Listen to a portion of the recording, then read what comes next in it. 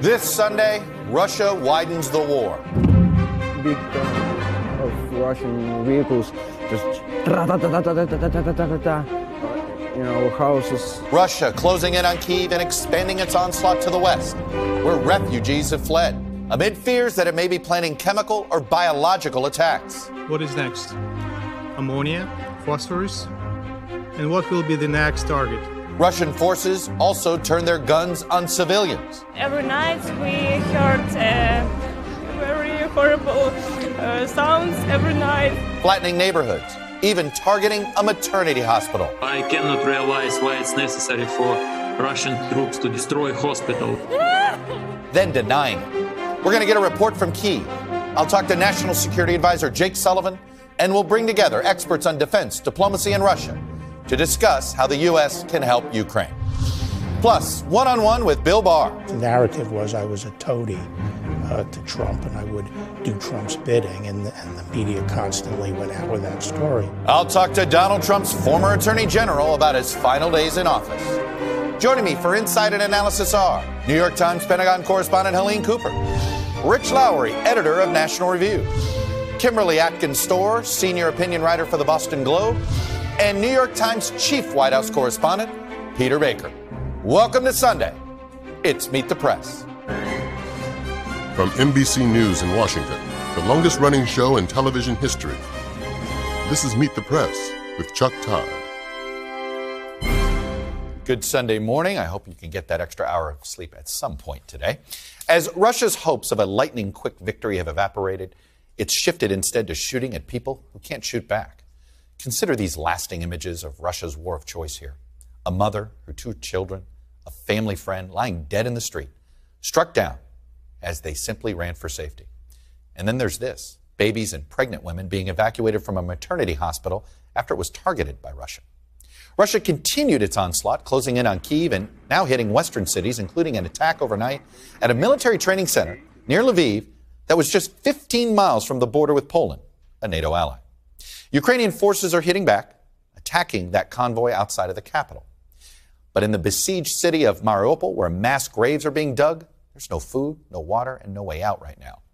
And there are increasing concerns that Russia may use chemical or biological weapons as a way to try to target insurgents hiding in basements, even as it accuses Ukraine of planning such an attack.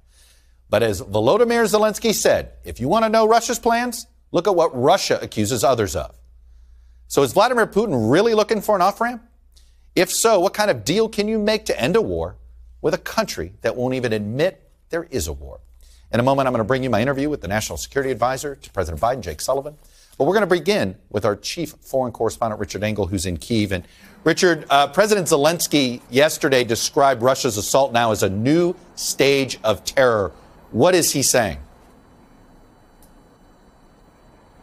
Well, it feels like we are at a new phase of this war. That initially the attacks by Russia were in the east and in the south. There was some speculation that Russia might try and do a, a lightning campaign and then sue for some sort of peace deal.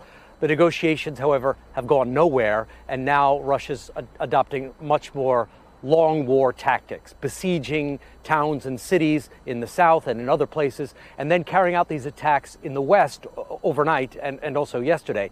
Uh, the west uh, of this country is still open. It is still open to Eastern Europe, and that has been a, an active supply line, bringing in weapons from, from Eastern Europe into this country, particularly American weapons, those javelins that have been so effective against Russian armored vehicles.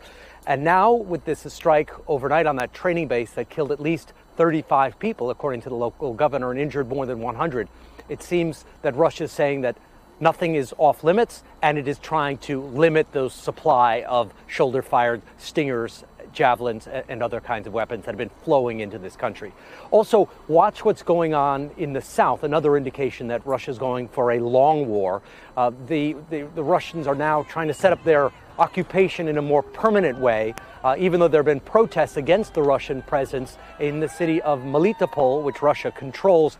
Uh, Russian forces replaced the mayor and appointed a Russian agent, and local officials worry that Russia is going to hold some sham referendum mm. to make its political occupation more permanent. Hey, Richard, I'm, I'm concerned about the strike in the West. I, I know you had an interview uh, over the weekend with a U.S. military veteran, not active duty. We don't have any active duty U.S. military in the country.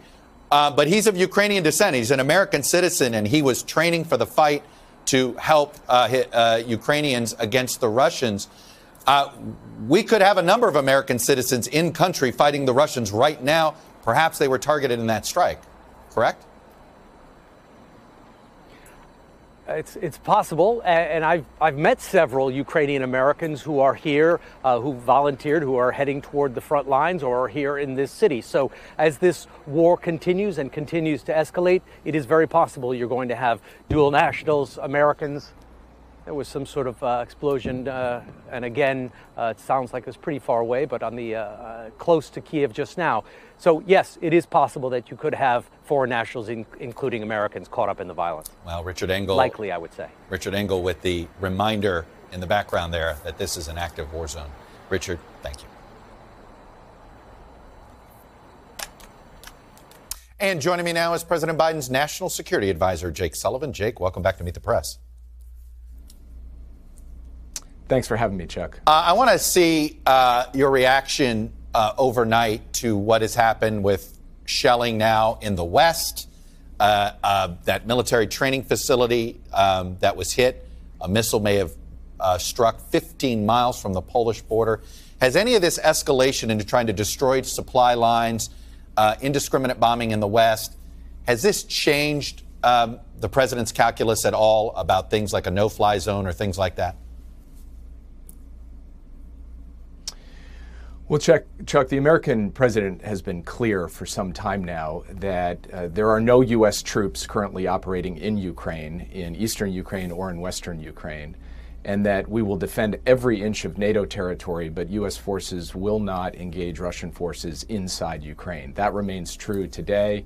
It remains true on the ground and in the sky. But what we will do is increase and intensify our efforts to supply the Ukrainian defenders with the weapons and security assistance they need to defend themselves. And just yesterday, the president approved an additional $200 million of military assistance to flow rapidly into Ukraine, and we're coordinating the efforts of our allies and partners to do the same thing. Is there going to be any sort of uh, necessity to have a military escort for that aid? I mean, if it if they're now going to bomb supply lines, and, and, and Russia said any of this uh, is fair game in their mind, how are you going to protect the aid that we're sending in to make sure the aid gets in the hands of the Ukrainians and say doesn't end up accidentally in the hands of the Russians?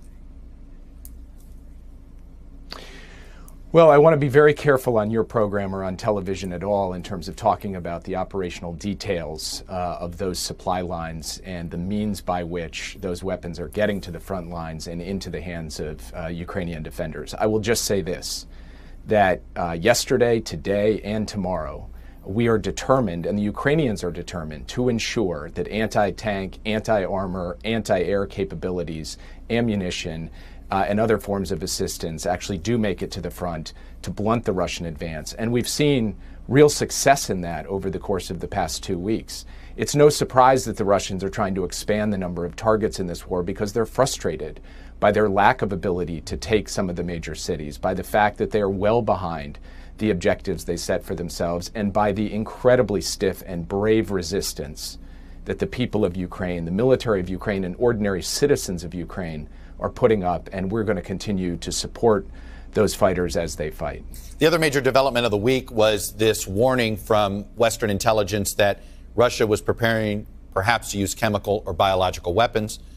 The president used the phrase severe price uh, in reaction to what you know, what would what would happen if Russia did this? He said they'd pay a severe price. I assume these economic sanctions are a severe price. Can you define what that phrase means? I'm not going to, in public, lay out the specifics of the severe consequences that Russia would face were it to actually use chemical or biological weapons inside Ukraine. I will just say that the United States, in coordination with our allies and partners, is prepared to impose such severe consequences. And we have communicated that directly to the Russians. Mm-hmm. We have consulted with our allies and partners about it, uh, and we are prepared for that eventuality.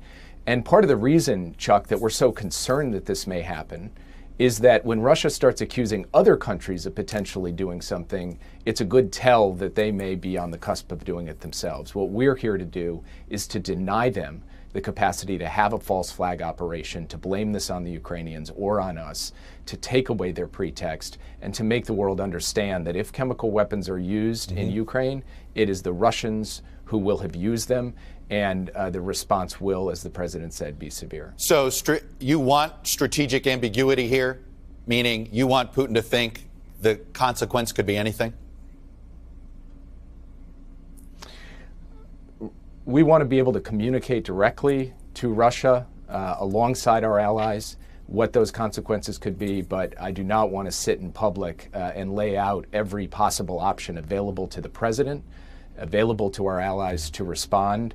Uh, we would prefer to do this uh, directly through channels, and we think that puts us in the best position to deter it and the best position to respond uh, should they actually move forward with a chemical attack. Is there a severe economic consequence that we've not leveled against him yet? Well, you just saw on Friday the president, alongside of his fellow G7 leaders, announce a further round of economic sanctions to include cutting Russia off from large elements of the international trading system, denying the import of key Russian products to the United States, imposing a ban on luxury right. goods going to those oligarchs and cronies around Putin. Uh, that was the, the next step in an ongoing effort to continue to squeeze the Russian economy, and it's having enormous impact. And there are additional steps that we will continue to take, additional targets of oligarchs that we were developing, additional measures to tighten mm-hmm. the vice, the economic vice that we have put around the Russian economy. Uh, we'll continue to do that with our allies and yeah. partners, and we will see the results. As we've seen, the Russian stock market hasn't opened in two weeks, right. and they've just announced it won't open because if it were to open, you would see uh, an immediate cratering of the stock market showing just how much damage to the Russian economy has already occurred. It, does, does China uh, or any Chinese businesses or the Chinese government, um, are they going to be targeted with sanctions if they're seen as helping Russia get around ours?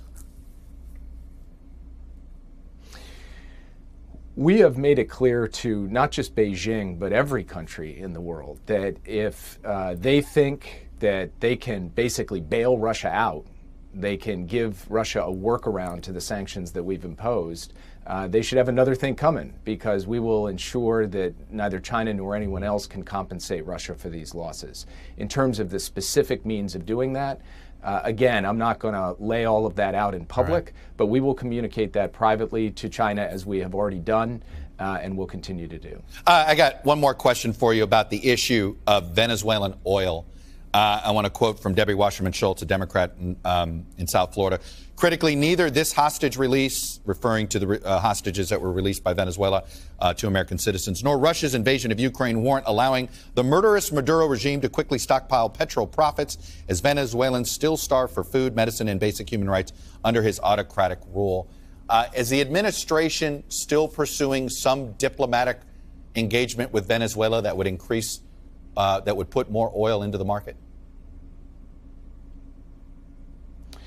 What came out of the trip by U.S. officials to Venezuela last week was the release of two American citizens who are now home, reunited with their families. There are more Venezuelan, um, excuse me, more American citizens still in Venezuela, heartbreakingly, who we are working around the clock to try to get out.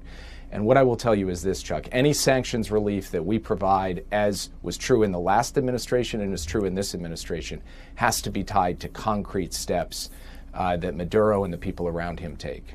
Uh, do you still consider MiGs to be offensive weapons and not defensive weapons?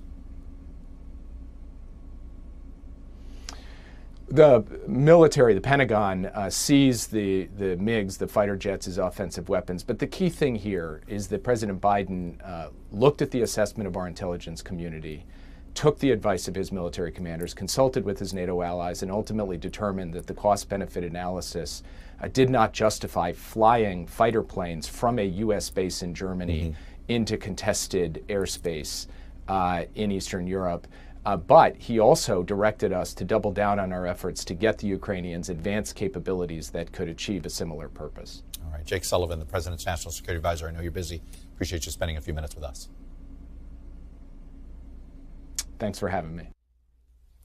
And once again, we've brought together experts to discuss the war in Ukraine and what options the U.S. has to help in the fight against Russia.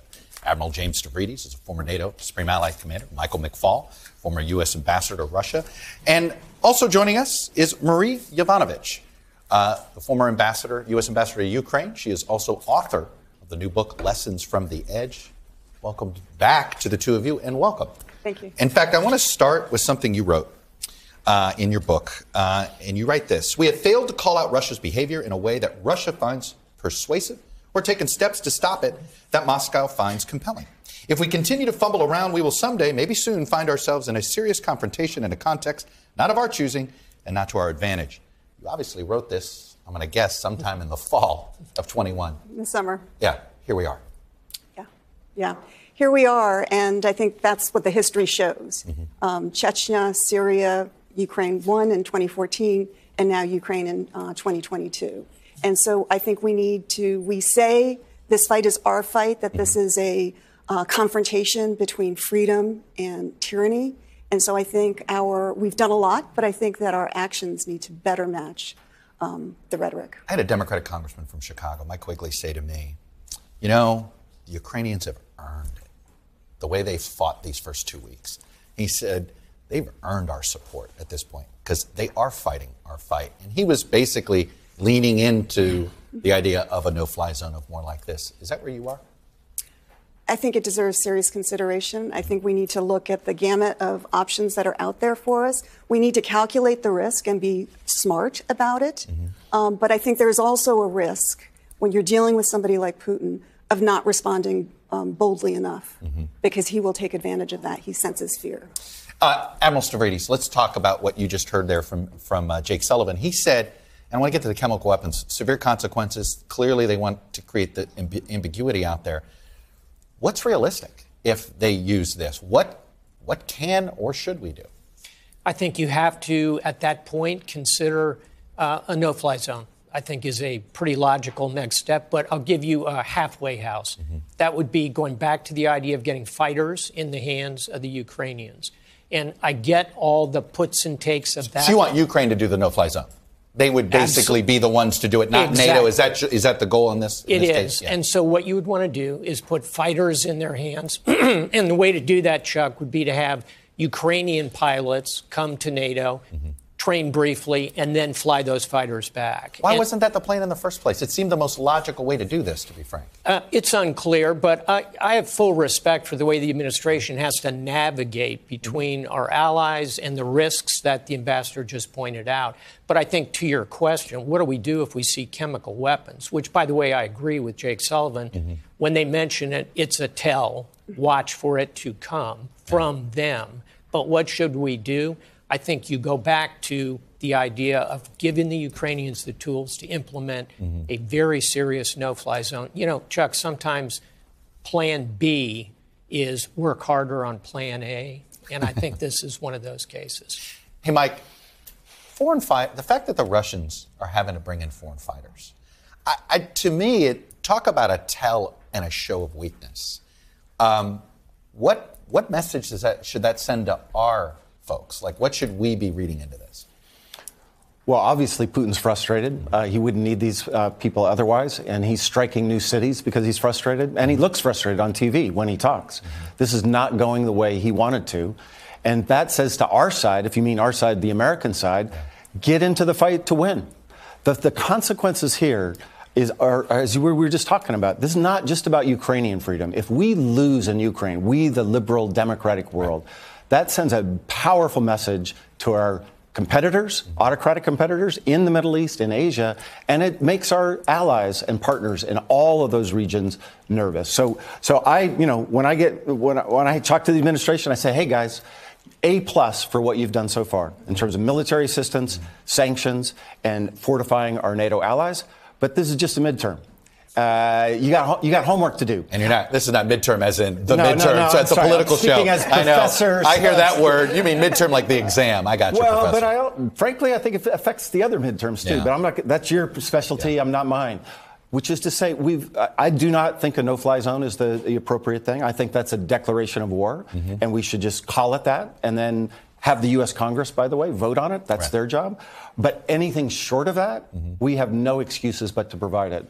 Give the Ukrainians what they need to fight this war. I just talked to Zelensky two days ago, Yeah. and that's exactly what he said. He said, You guys are standing on the sidelines. We got it. Yeah. But give us the tools to win this war on the ground. Ambassador, you, you shared uh, with, uh, in one interview I saw, you shared that you and President Zelensky didn't really see eye to eye at first, or perhaps he had bought into some of the caricatures and, and some of the stuff that was being said about you. Are you, uh, are you surprised by his resilience? Uh, yeah, I, I think that the man has really met the moment. Mm-hmm. He is a hero for uh, all Ukrainians, uniting the country, inspiring them, and moreover, inspiring the rest of the world. It's, it's remarkable. While I have you here, I got to ask uh, withholding, threatening to withhold military aid, which is what got uh, the first impeachment, what made you a household name for, for a bit, uh, and why you had to testify before Congress. How much did that impact what's happening today? I think it certainly plays a part. Um, I think Putin saw how how Trump viewed Ukraine, uh, and um, Meaning I he just it- viewed it as a as a as a, As a pawn. chip, yeah, Yeah, as, as a, a chip to negotiate. And I think that, um, ha- you know, the release of that transcript showed the world that we had an administration that was ready to um, trade our national security for personal and political gain.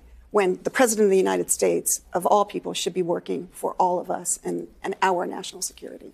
Well, I appreciate you coming in. I appreciate that you wrote the book. There's a lot for future Foreign Service officers to learn in this book. Not just this isn't just about the Ukrainian impeachment. Anyway, Thank you. thanks very much. Thank you, Admiral Stavridis. Thank you, Ambassador McFaul. When we come back, how the war in Ukraine is affecting politics. We got a little bit into it here. Here in the United States, the panel is next.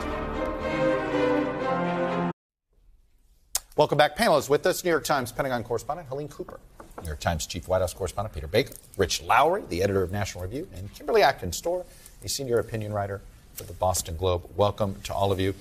Helene, let me start with sort of um, your beat in the Pentagon.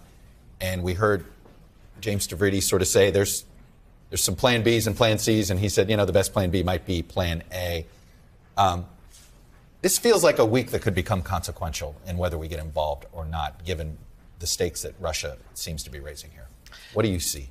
Uh, I think each week so far has been increasingly consequential, uh, and this week will be as much as much so. Uh, the Pentagon and the Biden administration at this point in time are still being extremely cautious, really, really deliberate, and they're still very focused on not escalating.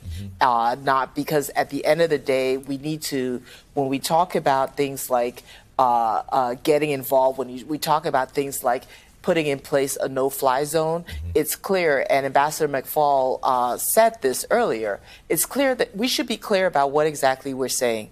When you say, when we say uh, put in place a no-fly zone, what we're saying is be willing to go to war with a nuclear-armed Russia, a, a country with more than 4,000 nuclear weapons uh, over Ukraine, and be very clear. Maybe we make that decision that that's what we want to do, but the American people and politicians and everybody who's talk who are talking about this should be clear that uh, should be very very crystal clear about exactly what we're saying. And what if this if Russia did not have more than 4,000 nukes we would have long since been in this war. But at the end of the day we uh, uh, this is what has sort of tied the administration's hands while at the same time they're trying to be as forceful as they can on sanctions and on the economic side Peter, you were stationed in Moscow uh, as a stint, uh, as a reporter. Uh, I, I'm, he has right now the control of the information system, but he's not going to be able to keep this idea that Ukraine's not going well away from his people for long. Is there a could he he could declare victory and go home if he wanted to right now, and his people would believe it. How much longer will his people believe some something like that? Well, the problem for Putin isn't that he controls the media and he controls social media to some extent. He obviously controls the information space. At some point, if the Russians have lost six, seven thousand troops. That's six or seven thousand body bags that are coming home. That's six or seven thousand funerals in towns like Smolensk. They can't hide those they funerals. cannot hide those. And and what we saw during the Chechen War, when, we, when my wife and I were in Moscow, we saw the power of the mothers, right? The soldiers' mothers, they were called, and they had political power even in an autocratic state. And that's a real problem for him. He could lose public know support. Gold Star families have huge, uh, Absolutely. huge power here. They have it there. And they're killing not just, you know, Chechens who are not particularly popular among Russians. They're killing Ukrainians who are their Slavic brothers as they see it. And that makes it even more volatile in a Russian political context. All right, I want to tip a little bit to the political sort of impact of this. What's interesting here is Congress seems to be ahead of Biden. And uh, the public, though, for now seems to like what Biden's done, not necessarily like Biden himself. I want to put up a few things. First, President Biden's decisions on Ukraine, this is some Navigator research polling, nearly 60% believe he's made the right decisions. President Biden's handling of Ukraine, upside down. Nearly 50% disapprove of his handling of it. Shows you, I think, the power of his personality. But Kimberly, I want to show you this. Congress really has sort of dragged Biden to some of the harsher sanctions against Russia. The ban on oil imports, Nord Stream 2, the Russian banks from SWIFT, increasing aid to Ukraine. Congress basically said, come on, Biden, do more. And they may end up dragging him to a no fly zone. They may. I mean, we also have to be clear that the situation on the ground has changed uh, day by day as well. So it may be Congress pushing the president, and also may be what's happening in Ukraine pushing the president to make uh, these determinations. But What's, what's interesting about this is we're calling this Congress dragging Biden. They're talking to each other, they're coming to a conclusion, and then they're acting. This is how government is supposed to work. It's supposed to be responsive, and it's probably one of the reasons we're seeing uh, the, the positivity ratings going up for the president for his handling, putting aside the personal Sure. politics and looking at the actions right now. Uh, right now, usually politics is about who, who you see as the enemy. Right now, we're unified. We see that Putin is the enemy, and Congress is acting, and I think that that is important for the American people to Rich, see. Definitely is a what I call the old Cold War bipartisan majority seems Mhm. to be coming back. Yeah, so it shows for those of us who think Congress should be more forceful exercising its power, influence, and prerogatives that when there's a bipartisan majority, you can't push a president.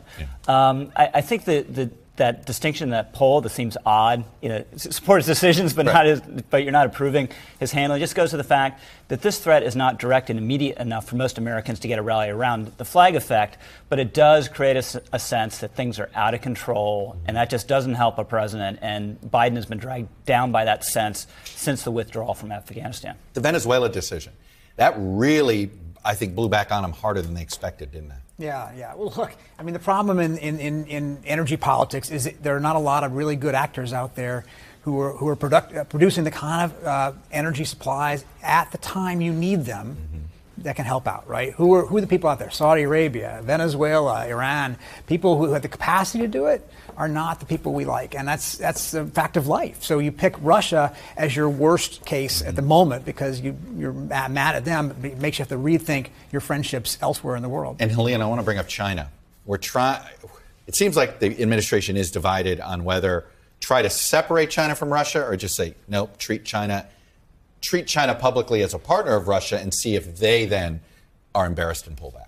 Uh, it's so interesting watching how the administration is trying to both pull China into this. They're they're very much threatening China. Uh, uh, be careful how how far you go. Didn't in guarantee sanctions, though. He didn't. Uh, no, didn't do no, that. no, he didn't. But uh, there there's no there's no doubt that a lot of Chi- uh, a lot of Chinese businesses are going to be dragged into this. I don't see how they how they get out of it. But at the same time, you also have on the diplomatic front, you have to look at who can help to bring about some sort of exit ramp. And when you start talking about that, you've got to look at Israel. you've got to look at uh, uh, China, and you know, and China could well be the the best the best chance that there is. So there, you know, it's a it's a push pull right now. When it's good versus evil, you got to sometimes, when you're on the good side, have some ambiguity about discerning the real evil from the somewhat evil, I guess. Anyway, when we come back, a change of subject. I'm going to talk to Bill Barr about his last days as Attorney General, what he thinks of Donald Trump now.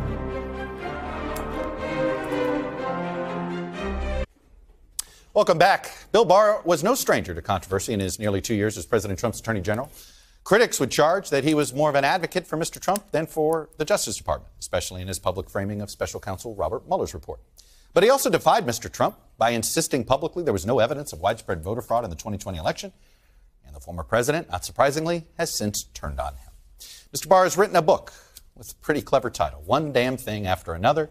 And he joins me now. Mr. Barr, welcome to Meet the Press. Thanks, Chuck. Thanks for having me. Um, I want to start with something you said in an interview in September of 2020, just a couple months before the 2020 election. Take a listen to it. It was a, it was a radio interview. You know, liberals project. You know, the president is going to stay in office and seize power and all this. Fascism. I've never heard of that crap. I mean, I'm the attorney general. I would think I would heard about it. I've heard about it. Okay, they're projecting. September of 2020, you didn't buy it. No. Obviously, hindsight shows you they weren't projecting, um, and they weren't wrong. Do you admit that now?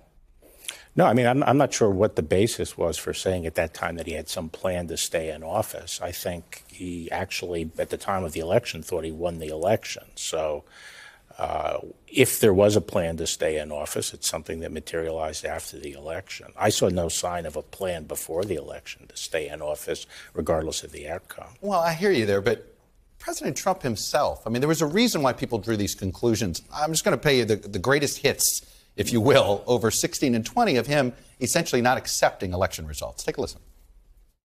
The only way we can lose, in my opinion, I really mean this, Pennsylvania, is if cheating goes on. I will totally accept the results of this great and historic presidential election if I win. It's going to be fraud all over the place. The only way they can win Pennsylvania, frankly, is to cheat on the ballot.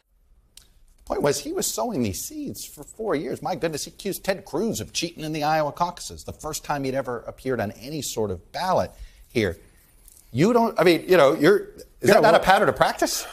Well, I don't know. It was sort of the same thing in 2016 on both sides. Uh, I felt for a long time that he was going to lose the election. I went in in April and told him that I thought he was going to lose the election, and he had, uh, you know, that that his personal behavior, his obnoxious behavior, was turning off key blocks of voters, and he was going to lose. And on election night, I felt he was going to lose, and uh, I was actually surprised it was as close as it was. You seem to think he was always getting bad advice. You talked about Rudy Giuliani in particular, who I think you in the book credit him. He says Rudy Giuliani now led him not to just one impeachment, but 2 Um, but you sort of seem as if that you don't put the blame on the pre- don't you think he looks for people who give him this bad advice? I mean, he didn't want to take your advice. He didn't want to take a John Bolton's advice on, on various things. He did want to take a Rudy Giuliani's advice. Isn't that on him, not on Giuliani? Oh, yes. And I say that he tends to surround himself with people who will tell him what he wants to hear. Uh, be- before the election, uh, you know, he'd cast his net broadly and talk to a lot of people, and cabinet secretaries, all of us frequently had to wrestle with him to uh, uh, accomplish things that we thought would keep him on track, and we were successful generally. But it was a, it was frequently like wrestling an alligator, as I said in the book. Uh, but after the election, he would just listen to this group of people uh, who had no government position, but uh, were telling him exactly what he wanted to hear, and uh, he's ultimately to blame for that. Well, There's something about him that he, uh, you know, wants to be surrounded by yes men. That is on the outs on the outside of Right. government. That that is a that is a mark of a lot of tota- totalitarian leaders, authoritarian leaders. They want to be surrounded by people who tell them what they want to hear. Um, it- we're dealing with this with Putin right now. Does that not give you pause about his ability to ever be commander in chief again? Well, I'm, I don't support his uh, renomination, you know, to be nominated as the standard bearer in 24, and I'm going to support somebody else. No, I And understand that, yeah. but you you sort of shocked a lot of people because you spent a lot of time in your books painting this person as unfit for office. Well, I also uh, and, and, and making it clear that he himself that he's got temperamental issues, he's got character issues, and yet you would risk that again over any over over Joe Biden. Well, I think there are a lot of American people right now that might prefer being uh, having him back in office than what we that. see under Biden. But I'm talking about And you, ele- you. You've had first, but you've had firsthand account. You saw it up close. Right. Well, well, I think elections are are binary choice, and you frequent, and unfortunately, sometimes it's choosing the lesser of two evils. I believe that the progressive wing of the Democratic Party uh, is is a, uh, dangerous for the United States. You keep saying you, you've said this quite a bit. Um, it's an uncomfortable thing for to hear from somebody who was needing to provide equal justice under the law as Attorney General. Because you said it while you're Attorney General. You really think the left in this country is somehow more dangerous than than um, some issues around the world? I mean, you feel like No, that- I just that- said in, in terms of, of uh, the leadership of the country, uh, I think they would be a dangerous choice for the United States. And, and, and there's, you know, our, our system, the person who's in charge of the administration of the criminal law is, is politically accountable official. And an official has to be politically accountable, but at the same time, dedicated to providing equal justice based on law and facts with no favoritism or partisanship, which I did. Um, the account I read in, in your resignation, or the accepted resignation, it seemed like you were anxious for him to accept your resignation, that you didn't want to be there, perhaps, for whatever shenanigans he might pull in the last 20 days in office. Am I No. reading that correctly? No, because I actually I thought I thought he was history on December 14th, the day I tendered my. Is that why you wrote such flowery language, Well, which is a lot different than this book?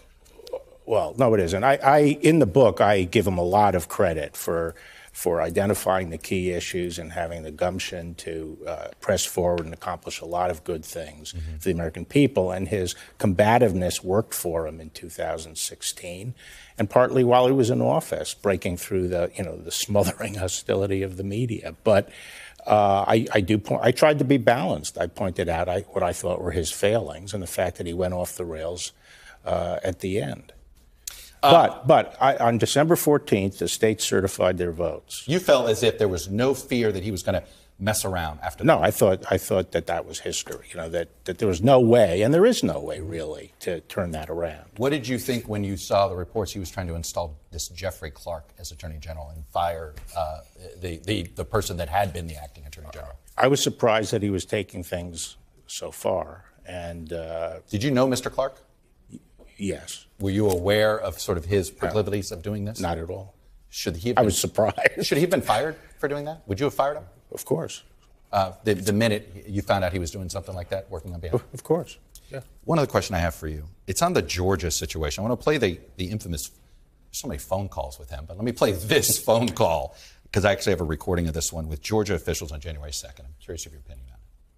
I just want to find uh, 11,780 votes, which is one more than we have, because we won the state.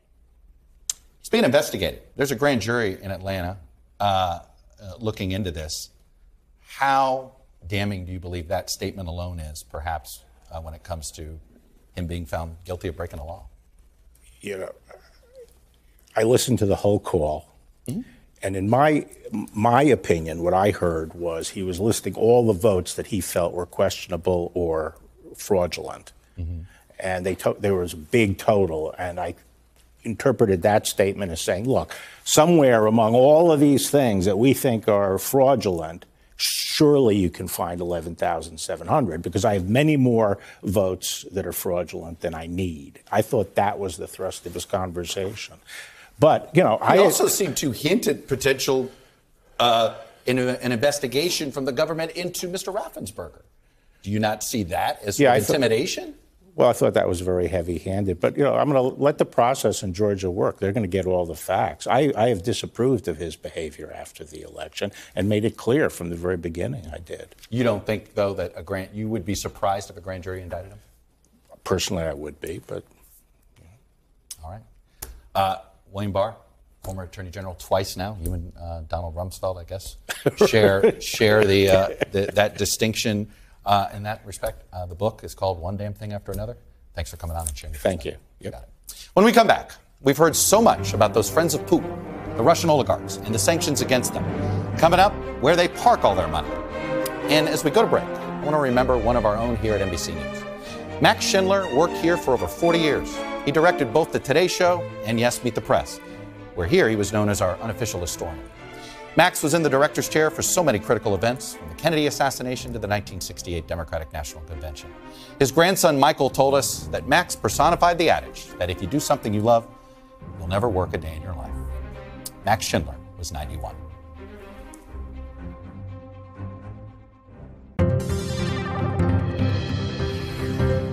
Welcome back. It's data download time as the West ramps up its economic sanctions against Russia. Some attention is turned to punishing the country's wealthiest individuals. It's the oligarchs who paid billions of dollars doing business with Putin's government or essentially grafting off the government. But tracking the wealth of Russia's ruling class isn't going to be so easy, as it's tied in with major businesses, institutions, and real estate all across the globe, particularly in many Western countries. 60% of this oligarchical wealth is outside the country, an estimated trillion dollars. One thing the West wants to do is make sure that money doesn't find its way back into Russia to help fund Putin's war of choice. So, where are these, these money? It's all over various institutions, soccer clubs here, a German tourism agency here, Uber, although they did sell those shares out of Uber in 2019. Then you have the real estate. According to Forbes, some 62 properties they have found worth over two and a half billion dollars among 13 different oligarchs. That's just of what we've tracked at this point. It's likely more. Uh, and then you look at the charitable giving that many of these oligarchs have done to try to sort of make themselves more acceptable in Western society. Look at here from the Kennedy Center, Mayo Clinic, New York University, Brandeis, and yes, MIT. When we come back, former President Trump keeps trying to make people forget how supportive he's been of Vladimir Putin. Stick with us. Welcome back. Panel is back here. Before I get to a little bit of, of Donald Trump trying to fix his Putin problem, uh, Kimberly, the, the, most interesting thing out of the interview I had with uh, Mr. Barr was his comment about Georgia in that phone call, because it really actually fell into the same pattern um, of the entire book. He outlined something bad, but then gives him a generous Yes. explanation for why ah, it's not as bad as you think. Yes, he's an unfit alligator who needs to be wrestled, but at the same time, oh, maybe he was just trying to figure Rub out the belly of the what was going on here, and and you know the fact that he gave the exact number of votes he needed to change the result is just coincidental.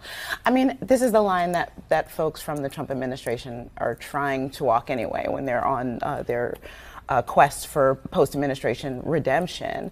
Um, but it doesn't seem to make a lot of sense. I mean, the questions that I have is that if he was so keen, uh, if he was so sure that the election interference was nothing, why did he authorize U.S. attorneys to announce investigations before the election? Why was he right at the side, really being an enabler right until the very end, until it was clear that he was leaving and it was time for him to exit out of the door? So I think it's still, he's not quite trying to, he's trying to thread that needle, but it still seems unthreaded to me. Rich, to me, it's that it's that whole.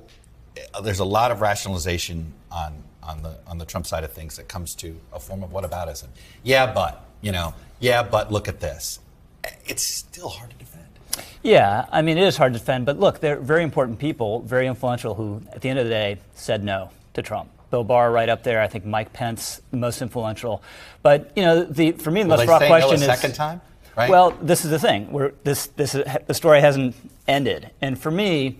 You look at a Ron DeSantis, you look at Senator Tom Cotton, and you have these Republicans really thoughtfully trying to come up with a synthesis. How do we do pre-Trump Republican Party with some post-Trump Republican Party? It's more populist than it used to, without any of the baggage of Trump, without any of the insanity of 2020. And for me, it's just mystifying that Republicans wouldn't find that more alluring than going back to Trump. But I've been mystified before. I, look, Donald Trump. Let me look. He is trying to fix his Putin problem. Yeah. Uh, here was his latest attempt last night. The fake news said my personality would get us into a war. I'm telling you, that guy's going to get us into a war. But actually, my personality is what kept us out of war. If you think Putin's going to stop, it's going to get worse and worse. He's not going to accept it, and we don't have anybody to talk to him. You had somebody to talk to him with me. Quite the line he's trying to walk. Yeah. Yeah, well, first of all, the first argument is the madman theory Madman of governance. yeah. I was so crazy and, and volatile, he wouldn't have dared to do what he's doing now because he didn't know what I would do in response. Okay. Is he sitting on the nuclear warhead in the moment, Right. yeah, yelling? Exactly. Sorry, I'm like getting that visual But he's in my still, head. of course, not criticizing anything Putin. He's rather, rather criticizing Americans, especially Joe Biden, than he is Vladimir Putin. He refuses to this day.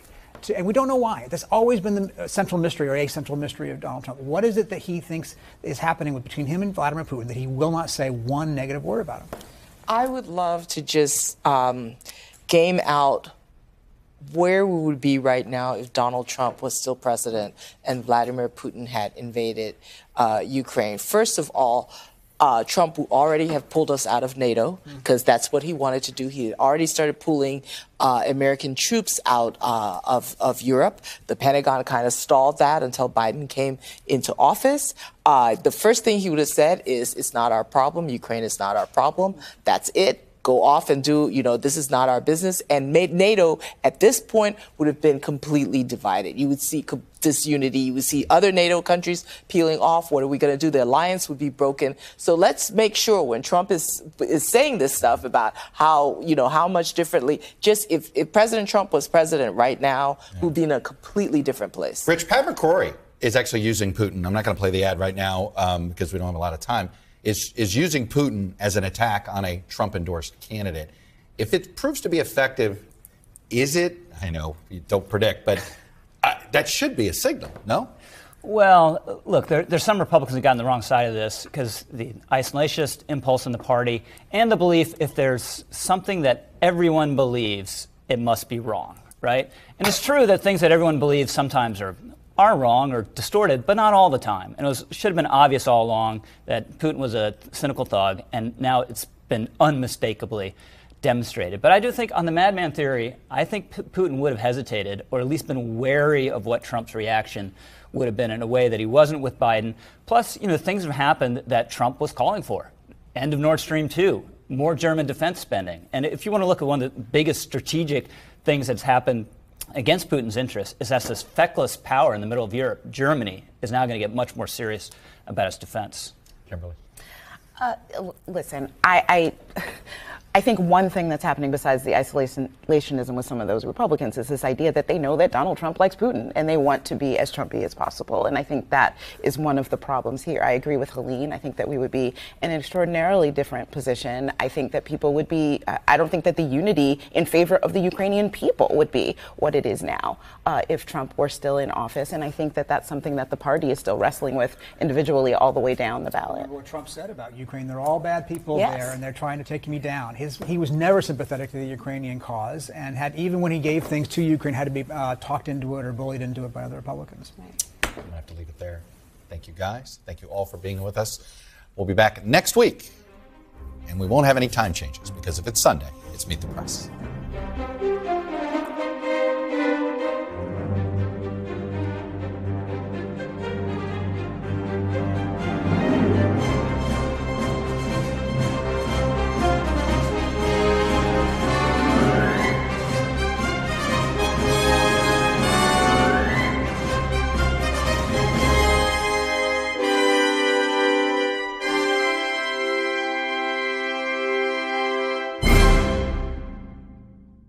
The Meet the Press Chuck Todd Cast, free wherever you get your podcasts.